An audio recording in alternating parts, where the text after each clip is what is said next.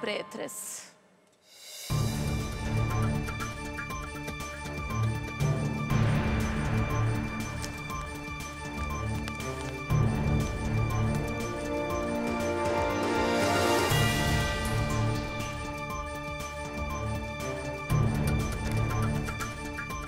Pres pretres.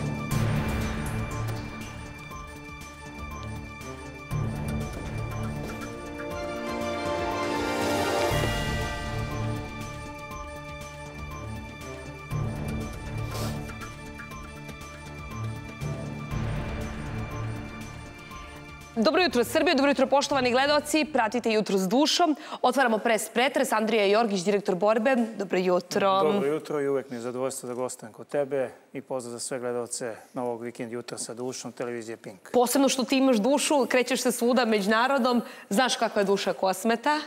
Naravno da znam, bio sam pre nepunih Mhm. nedelju dana. Fizički se Proveo izvestite. sam taj dan ce- ceo u Zubinom potoku. Pozdravljaju te puno, ja sam ti Mhm. uputio pozdrave i odande. Znači, bitno je da ih posetimo, nije bitno ko koju titulu ima, samo da znaju da nisu sami, oni će opstati, izdržat će. Sad oni nama kažu, što kaže s ove strane administrativnog prelaza, da mi budemo strpljivi. Tako da jednostavno ide to u dobrom pravcu. Dobro, ti često ideš e, na kosmet. Često kad god, što kaže, situacija i dozvoljava i sve, uvek idem da dam podršku, uvek čekam i neki događaj. Bio sam na Svetog Savu, Dobro. bili smo sada za Vidovdan i jednostavno uvek ću biti sa njima, ali da podvučem da ja poreklom nisam sa Kosova i Metohije.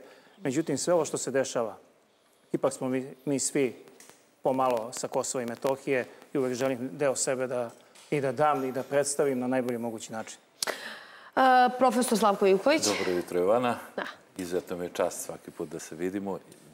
Od jutros nam sijat, sijaš. Mora tako. Neka, to neka tako mora. Prava zvezda televizijska. Uh, izuzetno Ono momenta kad da- prestanem da sijam, onda znači da nisam sposobna za rad. Zamisli da imate tako. sada neku voditeljku koja ima harizmu mrtve lisice ovde i koja sprovodi šta je neko napisao u redakciji, pa to je za mene poraz novinarstva. Ja smatram da takvi ljudi generalno treba da rade neki drugi lisica? posao koji O, nemaju pa- pečat. Zavisi ako je neka, u, ne, nemoj Šta? tako, zavisi ako je neka luksuzna lisisa, onda je to druga stvar, ali ti zaslužuješ Pa najbolje. kad je mrtva ne može da bude lu- luksuzna, kakva god da ima, ima harizmu mrtve lisice, nema energiju. A u životu energija sve, energija pokreće ili, ili ne pokreće. Ili pokreće ili sahranjuje. Ma, dođete, ne može ni... Vi, kod mene kad dođete, vi se odmah razbudite. Vi ste svi strogo, vo, onako već Mi spremni za sve. mi smo od jutro spremni, malo što si ispričali, popili kafu, uživali. Tu je Jorgi sam ispričao svoje doživlje sa Kosova. Pa čula sam ja. Čujem ja da se nešto događa, ali ne samo to. Evo vidim, probudili su mi se i kamermani, i režije, i svi, i to je dobro. E, zato što tako i treba da bude. Jer kad krene program, ako se to ne dogodi, onda je to mrtvilo, neka energija, onda je to 14 šera i to je katastrofa. Meni je to poraz. Pričali smo o knjizi naše kolege dragog, malo nam je objašnjavao šta je pisao. Aleksandar Gavić, novinar kolega. Dobar dan. Dobar dan. Meni je već dan. Je li jeste? Kad ste ustali? E, pa rano ustajem i čim ustajem imam jedan običaj. Odmah sednem za sto da doručkujem. A kada se doručkuje, onda je Jest. već uveliko dan Ja nije jutro. To je tačno. E, međutim, za, ovu, za ovo e, naše druženje e, želim da vam poklonim moju, moj novi roman. Dobro. S obzirom kako sam učestao i dolazim kod vas u emisiju, imaćete vi dosta mojih knjiga. Ja se radujem polako, ali sigurno znači punim Ovo sve je- police u svojim Ovo je kućama. već ovaj bestseller Ozna sve dozna, koji je izdao službeni glasnik i to je nešto što uh, u ovom trenutku me čini sresnim, upravo kao i ono što trenutno pišem roman koji se zove Ljubav, nož i portorož. Šta je to? Tematika, thriller. Thriller. Pročitaću i taman, nadam se da ću dobiti neke nove ideje, mm, neke Naravno nove da ideje vezano... Tu i, i posvetu koju sam ovaj, napravio. Hoću. Da, tu je odmah. Hrabro Jovani da ovu knjigu pažljivo pročita. Hoću, hoću. Inače, sve knjige kada čitam, to je neverovatno, podlačim i uništavam. Ja volim, ja knjigu dok ne ispodlačim celu, smatram da je nisam Sa pročitala. nekim lepim e, citatima, pretpostavljam. Pa da, ali ili, na primjer, kad čitam knjigu uh, iz mog života šta me asocira, pa, na primjer, napišem neko ime, ne znam, Jana, znači da taj pasos mi se odnosi na Janu, šta mi ona to radi u životu, ne znam, Dragan. Ali to je e, podvlačenje. Da. I, I podvlačenje različitim bojama je osnova vizualnog pamćenja. Jeste, to je tačno. Ja sam da kod verovatno faksa posle toga zadržala. Sve zapamti. Zap... Zato što ja posle pet godina mogu da uzmem tu istu knjigu, jer ja svoje knjige čuvam, i kada otvorim knjigu, ja tačno znam gde sam šta zabeležila i samo se podsjetim. Tako mi je pamćenje, generalno. Dobro, faktografsko pamćenje. Znači, pošto imamo profesora, tu je Jovana koja podvuče i obeleži pasuse. Ja ne moram da čitam, nego će da mi prepričaju, pa ću ja to malo Ne da... samo to, nego profesor je otkrio jednu veliku tajnu. Kako predmet neki naučiti i položiti. Tačno. Tako je. Faktografski. I o, šta savjetujem svim našim gledalcima, to je da manje koriste telefon, da slobodno vreme ne koriste da blese po TikToku, Instagramu i Facebooku. Pritom ja sam neko ko je veliki instagramac, odnosno instagramuša, znači obožavam društvene mreže, ali to treba da bude od, izbaciš šta imaš i ideš dalje. Nego da svaki moment koriste da imaju neku knjigu pored sebe. Ja imam razne manje knjige u manjim verzijama, odnosno, da kažem, u, toj verzi, u tim verzijama da mogu da stanu u u tašno. I sad čitam kakve su ti misle, takav ti je život, iako tu knjigu već znam na pamet, ali nije... Pocket edition, Pa da, kaže. pocket edition, da džepna, džepna verzija. Mislim I da- uvek to čitam. Ova knjiga će, mislim, da moći da stanu u ovu Može, tačku. može. Pa da, Glatko. veća je torba. Može, Tako je. može. Znači, u slobodno vreme a, bolje pročitati i tri stranice knjige nego gledati u telefon, jer dokazano je da gledanje u telefonu unezveruje čoveka i čini ga nervoznim. Smanjuje koncentraciju. Smanjuje se koncentracija. Ono što, što su istraživanja pokazale jeste da se koncentracija kod naše dece u posljednje vreme pala. Baš zbog toga, zbog TikToka, ti društvenih mreža. E, prosječna koncentracija sad je 30 sekundi. Vi vidite dete, on sam pa, pa, pa, pa, pa, samo vrti u krug. Ja, Jeste? ja se nisam prepoznao ovome oko telefona. Očigledno Slavko jeste. Ovo je ko drži stalno Dobro, telefon tebi i žena brani da koristiš telefon pa kad ti sklanjaš. Je li to zbog ne, toga? Ne brani, ali vodi računa i o svom telefonu i o mom. O, Ima pristupne parametre. Ne, mi nemamo, mi nemamo nikakve pristupne parametre, ovo ću zapamtiti. Ja nisam ovaj ljubitelj e, društvenih mreža, nemam, nisam ni na jednoj, ali moram jednu stvar da priznam. Društvene mreže su najbolji i najbrži informator kad Tačno. hoćete nešto da saznate. Ali puno I ima to je- i, lažnih, to je ima- Puno ima i lažnih. To je nešto što, mislim, ne možemo da, Kako da, od da šume negiramo. informacije prepoznati ono koje je pravo? To je tačno. Od...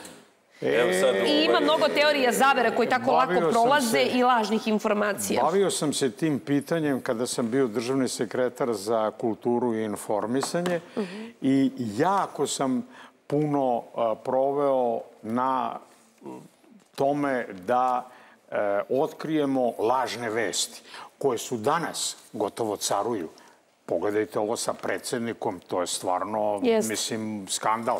E, ja sam u to vreme sa svojim nekim timom, e, e, a tada je već i krenula korona nekako, znam da smo ovaj, razmišljali kako da suzbijemo lažne vesti. Jer lažne vesti mogu da uznemire javnost, mogu da, da veliku štetu da naprave. Fake news. Tako da smo, ovaj, ja sam tada rekao, protiv lažnih vesti borit ćemo se samo na jedan način, istinom. I to u koroni što, što, što ste spomenuli, upravo sam bio gost kod Jovane na jednoj drugoj televiziji i bile su fake vesti. Kad je bilo za ono, ono lažno, onu nestašicu goriva na pumpama, kad je krenula korona. Sećam se, pa i Ba, šećera, pa vidio, kad je bilo za ovaj. šećer, da nestaje, pa su ljudi išli kupovali brašno, odeš, pa odeš i vidiš da nema, nema brašna, nema šećera, nema ničega. Možemo, možemo da kažemo da neki istorijat lažnih vesti kod nas u stvari krenuo od onih poplava. E, Do tad nije se toliko na tim društvenim mrežama ovaj, plasirale lažne vesti, ali kad su one bile poplave 14. godine, tad je baš bio onaj bum oko Obrenovca i, i onda su posle toga svi krenuli, u stvari jako puno, čak i kvazi medija je krenulo da pravi lažne. Evo, na primjer, ona grupa u Makedoniji se na izborima u Americi obogatila na lažnim vestima. Pravili su lažne vesti e, i na klik i onda su na, ovaj, na, na naplati klikova ovaj, na reklamama uzeli ozbiljne, novce. Opasno je. Opasne su lažne vesti, kaže, može da uznemiri javnost, može da izazove štetu, može e, mnogo toga da, da uradi čak i više i jače nego ispaljen Pa evo, metak iz evo i pištolja. predsjednik je pre neki dan izjavio da lažne vesti, u stvari plasiranje lažnih vesti uh, u medijima u, u, pravi jako veliku štetu Republici Srbiji. U stvari svima nama pravi štetu. Pa normalno, pa ti kad o sebi se- pročitaš, a kamoli o nekom drugom. Tako je. E sad, ajmo da naslovne strane, ajmo da politike ćemo da krenemo, pa ćemo onda na srpski telegraf i idemo dalje. Na naslovnoj strani politike Bratunac, 32 godine od stradanja Srba srednjeg Podrinja. Važno je da se istina čuje i ne zaboravi. E, važno da ujedinjeni obeležimo sve srpske žrtve, da se okupljamo, da pamtimo, rekao je premijer Srbije Miloš e, Vučević. Evo ovde, e, dajte nam, možemo naslovnu stranu politike, e, da pokažemo fotografiju. Vidimo u prvim redovima ovde i- Nenada Stevandića, Miloš Vučević, zatim um, Nešić, ministar bezbednosti federacije, Milorad Dodik, dakle svi zvaničnici su e, bili. U Bratuncu su juče obeležene 32 godine od stradanja Srba, srednje podrinja. Ubijeno je 3267 Srba, među kojima i 43 dece.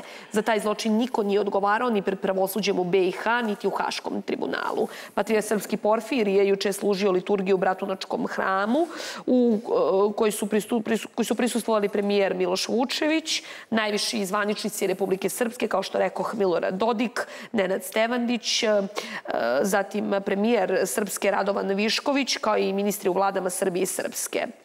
E, recimo i to da su pored puta od Bratunca prema Srebrenici postavljene fotografije šest ubijenih i poginulih Srba, većinom civila iz Bratunačke i Srebreničke opštine, kao svedočanstva počinjenih zločina nad srpskim civilima na tom području. Rekao je meni to ovaj gospodin Stevandić kad je bio gost, da će oni postaviti te sve fotografije na svakih e, ne znam koliko metara je po jedna fotografija ubijenog, e, ubijenih Srba. Mislim, Da se, da se ne zaboravi. Ljudi, da se setimo tih ljudi. Ja sam namjerno ostavila ovu temu za danas.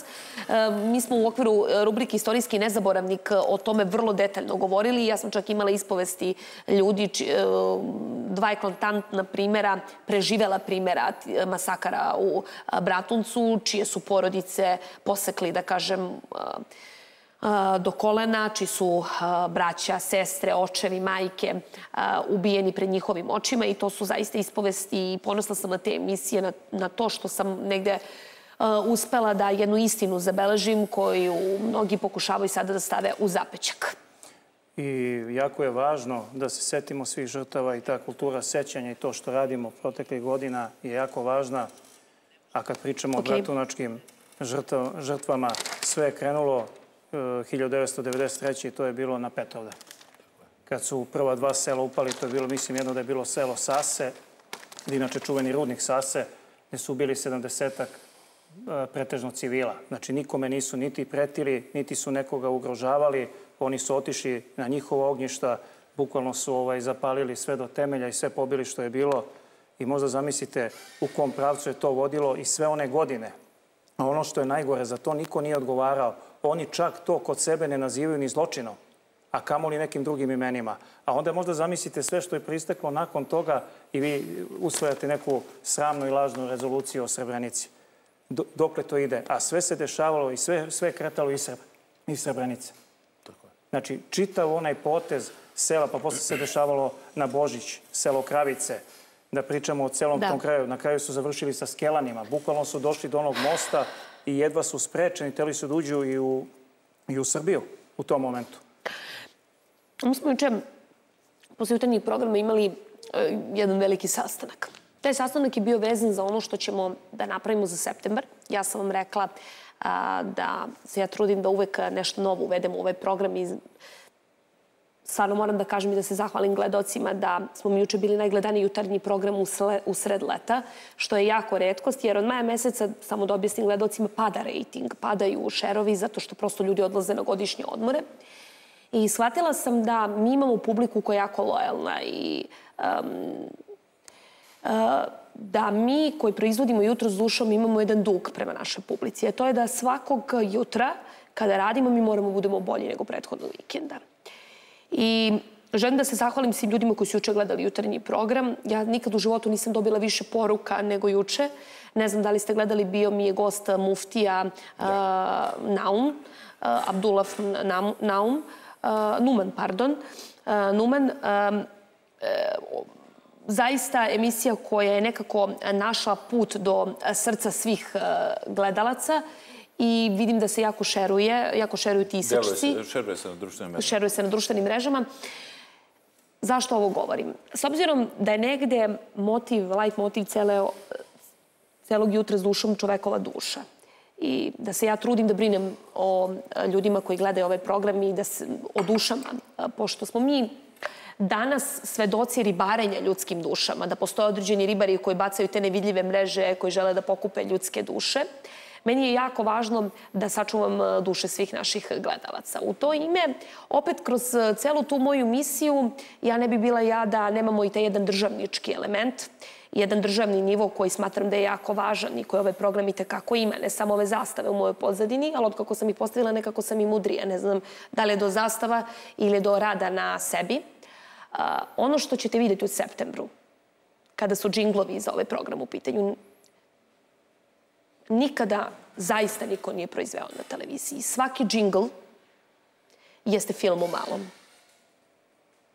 I svaki džingl ima veze sa našom istorijom, ima veze sa našom državom, ima veze sa našim najvažnijim istorijskim momentima.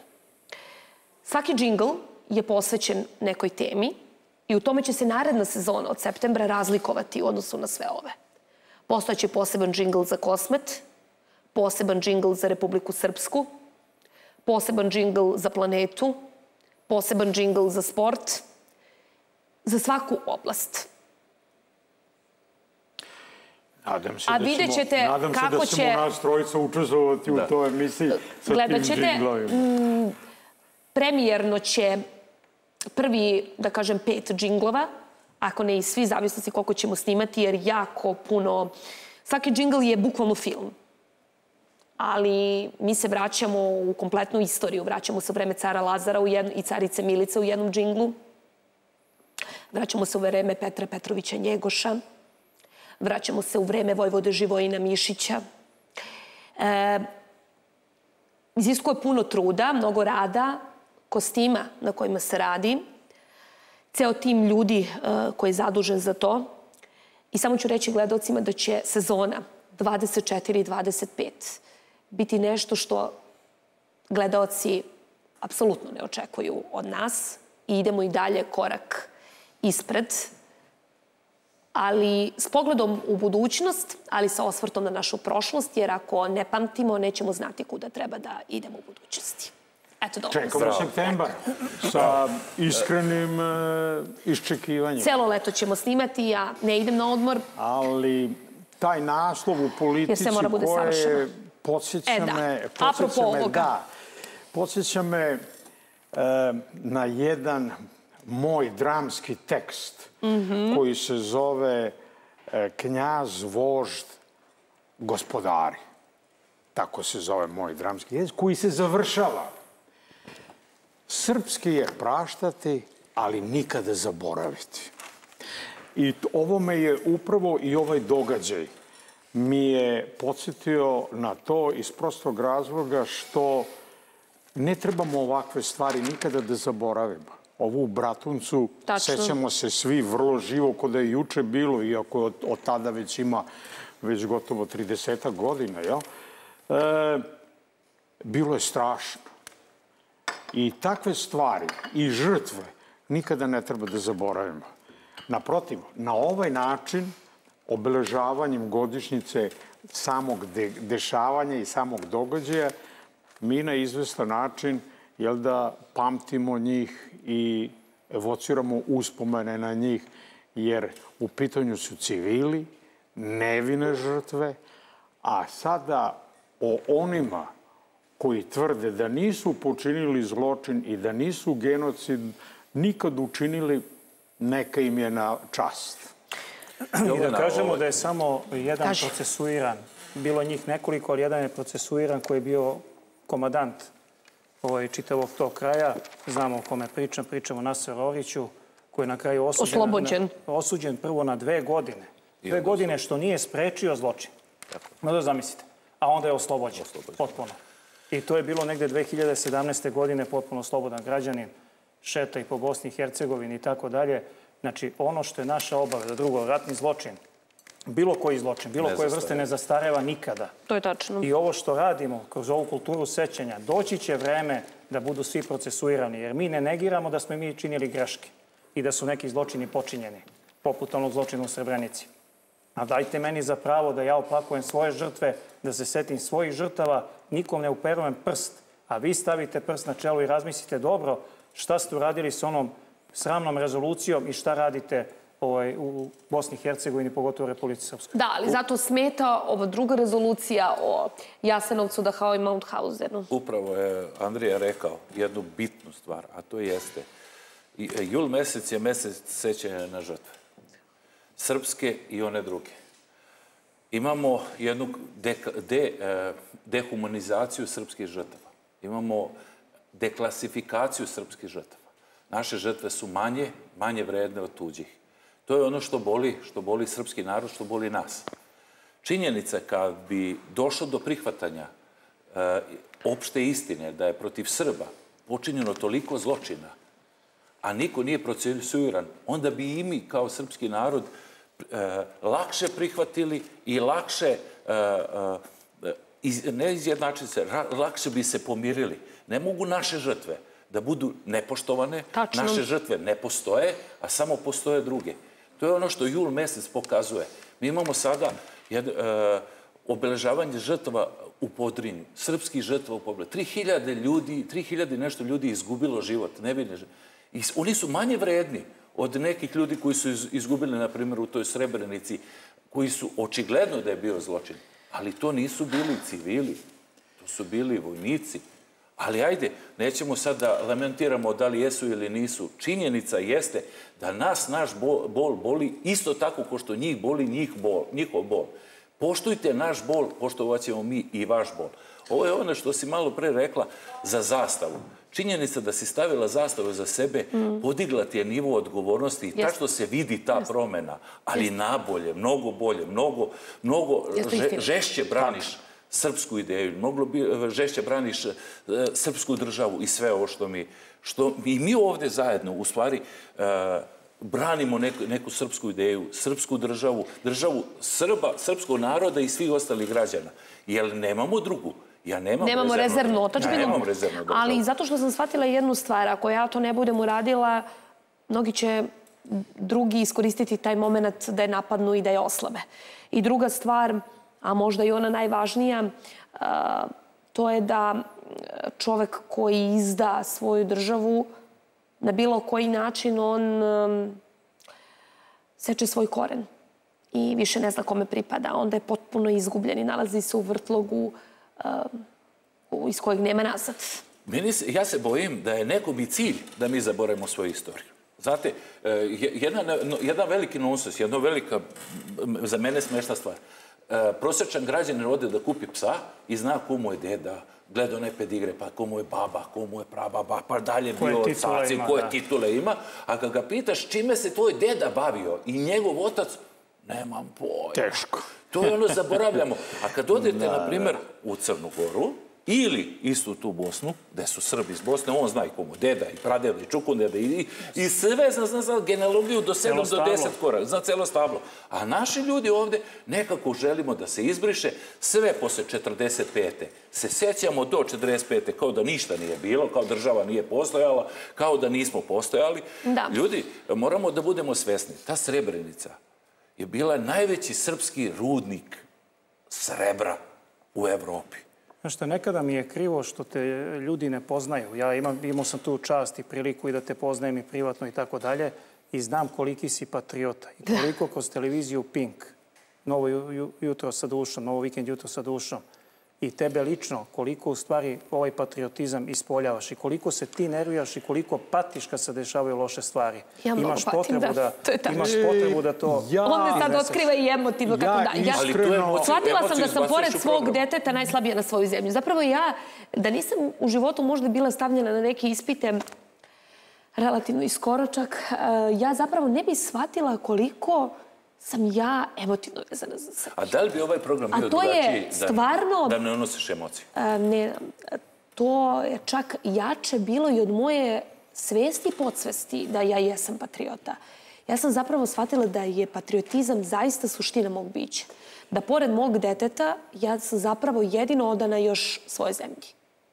Najiskrenije. Ali ovaj program ne bi bio ovakav da ti radiš profesor, dođemo sedam, Jer meni se cijelo telo buni, Da. meni se srce buni, ovako. meni se buni e, želudac. Ja ne mogu prestajem da jedem kada vidim da moje zemlji e, na neki način e, da je podrivaju. To je nešto neverovatno. Cijel organizam moj reaguje. Andrija to zna, Andrija je bio prisutan u nekim danima. I koliko Onako. puta i ona sva naša uključenja sa Kosova i Metohije, ne samo sa Kosova i Metohije, iz bilo kog kraja, pogotovo, da kažemo, ove naše dijaspore, ovaj, uvek smo slali dobru poruku i gde se uključujemo, uključujemo se ovaj, kod Sad ćemo da se vratimo. E, Moramo samo, na vesti. Samo da Kaži. kažem jednu stvar. E, pomenuli smo reč patriotizam. Vratit ćemo se. Ivane, izvoli.